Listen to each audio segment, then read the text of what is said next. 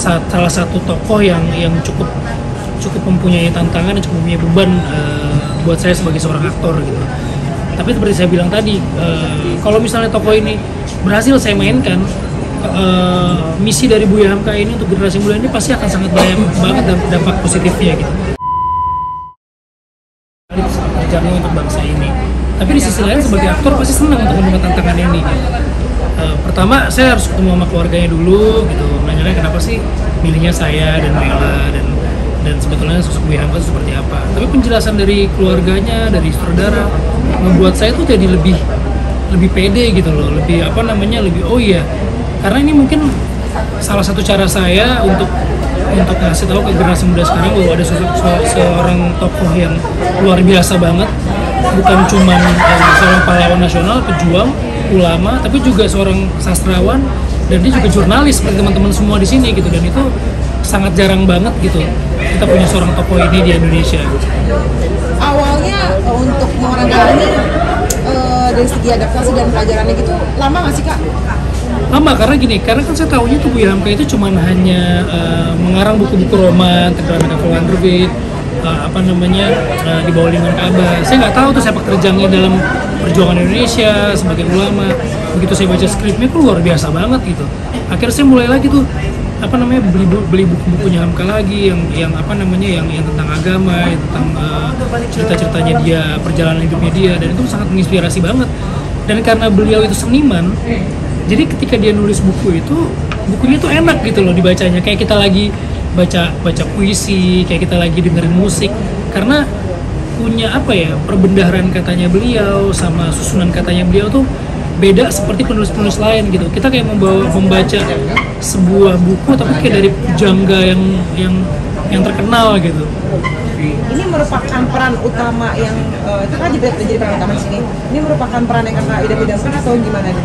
sebenarnya saya nggak pernah mencari peran atau karakter yang gimana gimana sih tapi begitu ada tawaran ini buat saya ini satu sa- salah satu tokoh yang yang cukup cukup mempunyai tantangan dan cukup mempunyai beban eh, buat saya sebagai seorang aktor gitu.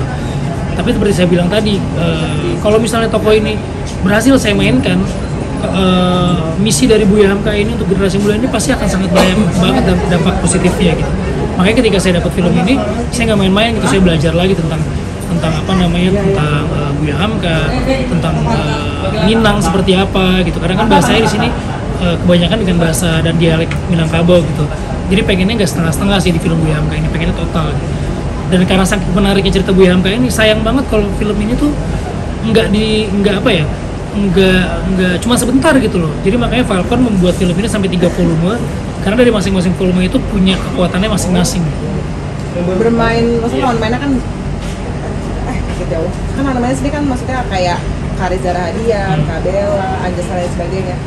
Jadi itu nggak sih kayak punya punya lawan main yang maksudnya eh, istilahnya setara dan juga eh, actingnya tuh bagus-bagus semua. Ada pressure juga nggak?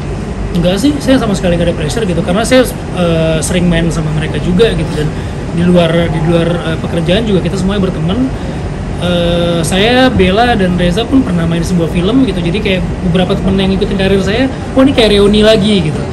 Tapi buat saya ini kayak jadi apa ya? Kayak jadi eh, teman-teman bilang nih kayak jadi Hamka Cinematic Universe atau enggak Avengers pahlawan nasional karena Hosoka Robinoto pernah ada filmnya dan yang main kan Reza juga main di film ini. Haji Agus Salim juga pernah main main eh, filmnya sendiri eh, Om Pri Timothy terus eh, Anjas Mara juga pernah eh, memerankan tokoh Soekarno sebelumnya dan dia berperan sebagai eh, sebagai Soekarno pun di sini. Jadinya kayak orang melihat melihat kolaborasi pemain di sini tuh luar biasa banget dan ini belum pernah ditemukan di film Indonesia sebelumnya gitu. Makanya kita nggak mau nggak mau main-main sama film ini walaupun ini filmnya tentang sejarah tentang bio, biopik seorang tokoh tapi apa ya penuturan film ini tuh sangat sangat ringan gampang di, dinikmatin untuk semua usia nggak menjadi sebuah film biopik yang berat gitu. Nggak menjadi sebuah film biopik yang bertele-tele tapi semuanya semuanya itu bisa dinikmati oleh semua keluarga yang mau eh, sejarahnya dapat yang mau dramanya dapat mau haru birunya dapat. Pokoknya semuanya lengkap di film ini